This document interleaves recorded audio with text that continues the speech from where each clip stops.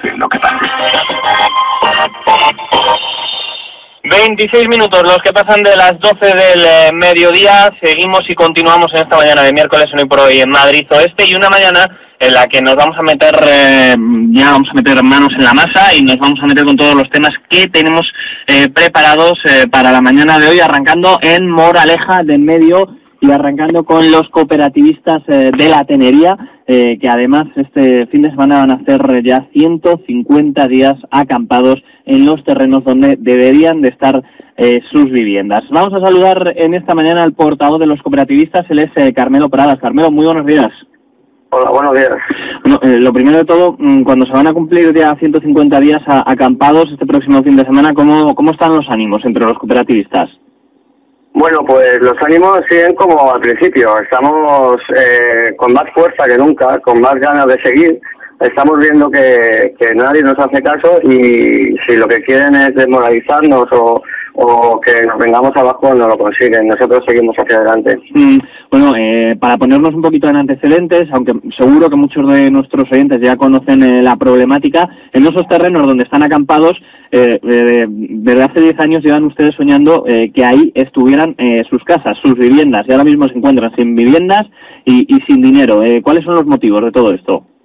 Bueno, eh, llevamos unos años ya soñando con tener nuestra casa ahí, pero llevamos soñando porque el Ayuntamiento de Moraleja y la Comunidad de Madrid nos decía que ahí vamos a poder empezar a construir. De esto hace ya 10 años. Eh, hoy en día eh, el Ayuntamiento presenta a la comunidad un plan de 10.000 viviendas. La comunidad dice que no, que eso es inviable, que hay que recortar a 2.500. Nos ofrece como solución esa, las 2.500, y nosotros aceptamos pero lo que es cierto es que hoy en día todavía no hay nada firme, simplemente son palabras por parte de la comunidad. Lo que es cierto es que hay un malentendimiento entre el Ayuntamiento y la Comunidad de Madrid y es lo que nos lleva a ese problema. Bueno, eh, están acampados, como yo estaba comentando, desde hace 150 días. En ese tiempo han colocado desde velas hasta han simulado un, cementerio imaginario y, y un no sé si el último palo eh, se lo llevaron eh, hace poco cuando le retiraron la luz del agua y una caseta que, hacía las funciones de aseo para, para ese campamento improvisado. Sí, eh, en estos 150, 150 días nosotros lo que lo que hemos hecho ha sido diversos actos para reivindicar, como para decir que todavía seguimos ahí. Entonces, a raíz de estos actos, pues nos hemos enterrado, nos hemos crucificado, hemos puesto velas, hemos hecho un cementerio y se ve que con, con estos actos pues no ha gustado, no ha gustado que, que, digamos que estamos ahí. Y el Ayuntamiento de Moraleja sin más nos ha cortado la luz y nos ha cortado el agua y se ha llevado la caseta que nos hacía de, de aseo. Esto nos lo puso el Ayuntamiento de, de Moraleja al principio del campamento simplemente para decir que estaba con nosotros y para hacerse, entre comillas, la foto con nosotros, cosa que nosotros no nos creemos. Nosotros estamos acostumbrados a que el Ayuntamiento de Moraleja, más concretamente su alcalde, pues juegue de, esta manera un poco sucio con nosotros. Mm. ¿Cuánto dinero de media han invertido cada una de las familias? Pues somos eh, alrededor de 1.200 familias y hay una media de, de 50.000 euros por, por socio. Es una, es una barbaridad. Mm, eh, yo no sé si en estos 150 días eh, alguien de la comunidad, alguien del ayuntamiento se han reunido, han hablado, se han podido sentar en una mesa, no sé. Sí, sí desde, desde diciembre, que es cuando la Comunidad de Madrid devuelve el plan a Moraleja en medio con nuevos requeridos, eh, pues hay reuniones entre la Comunidad de Madrid, entre el Ayuntamiento y entre nuestra cooperativa. Pero se quedan en eso, se quedan en reuniones, se quedan entre, nos dicen que nos van a buscar una solución, pero lo que es verdad es que a día de hoy eh, no tenemos ninguna. Simplemente eh, la Comunidad de Madrid dijo que como solución nos ofrecía construir 2.500 viviendas, pero ahí está, no haya dado el paso, no haya puesto la firma y nosotros de momento no tenemos solución. Mm, ¿Y esperan soluciones en las próximas semanas? ¿Qué van a hacer si esto se, se sigue alargando en el tiempo, siguen pasando días en ese, en ese campamento?